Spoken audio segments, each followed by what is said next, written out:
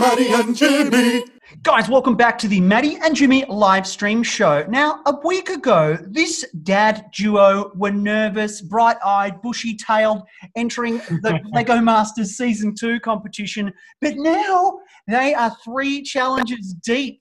They have given us a mysterious island cult, a glittery explosion fairy castle, and of course, a gigantic, epic beanstalk. Andrew and Damien, welcome back to the show, guys. Thanks for having us, Jimmy, Thanks Maddy. for having us. Oh, Yeah.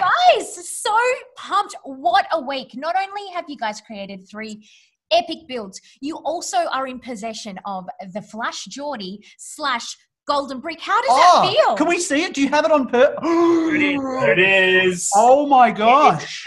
It's real. Will oh you- my gosh. Will you oh, Well, guys real, ever alright. use that, or is it just going to have a, a permanent place in your pocket? And Andrew, Oh, we could tell you that, but we'd have to kill you. So They're cool.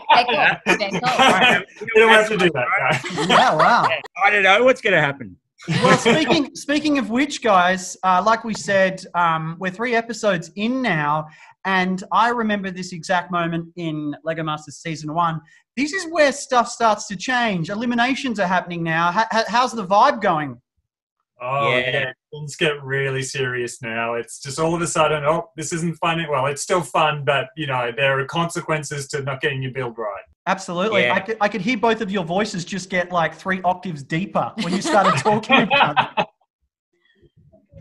Yeah, look, elimination's pretty scary. Um, and you know, we all hear about it, but then when you're actually in it, everybody takes it a lot more seriously. It's a bit scary. Absolutely. Yeah. And the emotions are high, you know, like you there's so much pressure and you're just this intensity there and you become such good friends with everyone. Like a lot of tears are shed. I, I totally um totally get it. And I swear someone put, has put like extra power batteries in the clocks because time just moves so much faster. Oh, yeah. It sure does.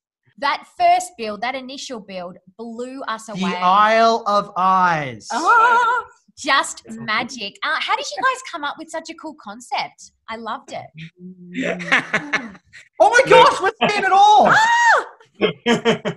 I'm gonna I'm gonna use the words of Damien because he actually summed this up really well. He says you just start building with the bricks, and the bricks just start talking to you, and something happens.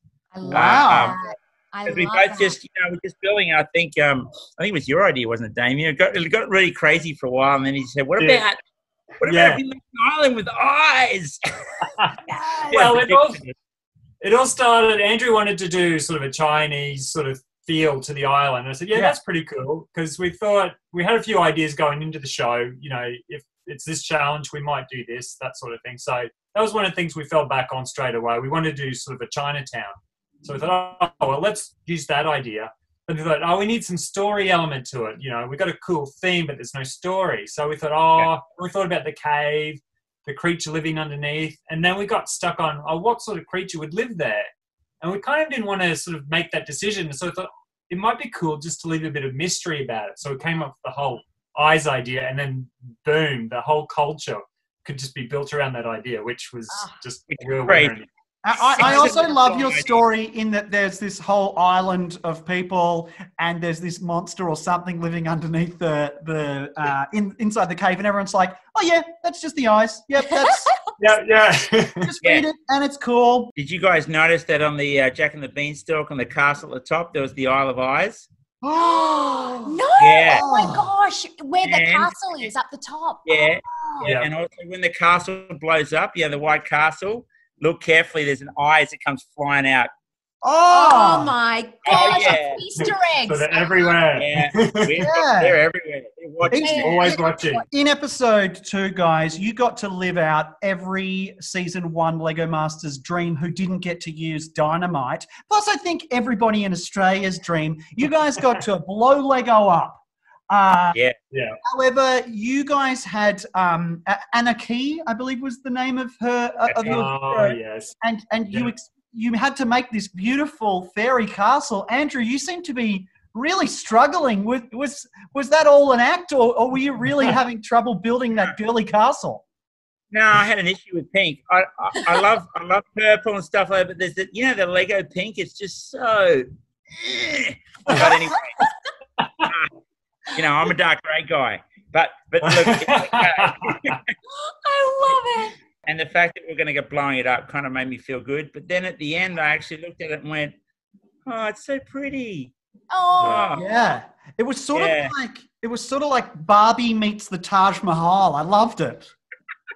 Yes, it was. Yes. I loved it. And Yeah. that glitter explosion, just magic. Yeah, there is some kind of like, I remember when we had to drop our thing as well, you kind of like, oh, I've got a bit of an attachment, but I am so excited to see Mm. what happens here. It's Yeah. amazing. That's Yeah. it. You're, you're sort of torn between seeing how the explosion comes off because, well, we, you know, there are a lot of elements that we're trying to plan for to make the explosion spectacular. So you want to see how that pans out, but at the same time, we did get quite attached to our build in the end. It was really pretty. Fantastic. Yeah. Oh, it was magic, guys. Absolutely magic. Uh, now, I actually have a viewer question um, from Lewis. Now, Lewis has asked, were you guys really scared when your beanstalk was breaking? Great question. Yes, Yeah. that was all very, very real. We had significant problems with that. It was really heavy, as you could see, and it just because you know Jack was taking a chunk out of the base, and we as soon as we built on top, it started to get too heavy and wasn't supported well enough. So Yeah. it was actually really hard to fix. Yeah, it took a good hour, I reckon, of of rebuilding just to get Oh, that. thanks. Yeah. At least, yeah. Amazing. Yeah, no, we were It was incredible watching your heart sink when uh, Brickman, I think, uh, Damien, you said, oh, well, maybe we could make the giant just be fallen on the ground. Yeah. And he said that would turn you from a hero to a zero.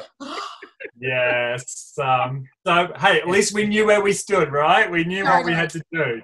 So That's exactly just it. gave us some clarity. We just had to fix it. If Brickman was a superhero, his power would just be saying one sentence to turn you from complete optimism to just absolute dread, or vice versa. Yeah. Yeah, yeah. 100%. Oh, he Well, certainly knows how to put you on task. Absolutely, Absolutely. does. And guys, thank you so much because we are like just absolutely blown away. Three builds down, and we are loving it. We cannot wait to see what happens next. Thank you so much for joining us again on the Maddy and Jimmy Pleasure. show. That's Thanks. our pleasure. Thank you, guys. And please, can you use Jordy's brick? Because I love seeing that guy run. I'll think about it. We'll think about it. We'll talk Yeah, about it. we'll have, have a good thing. On that. Thanks, Thank you so much, guys. See you next time. Maddy and Jimmy.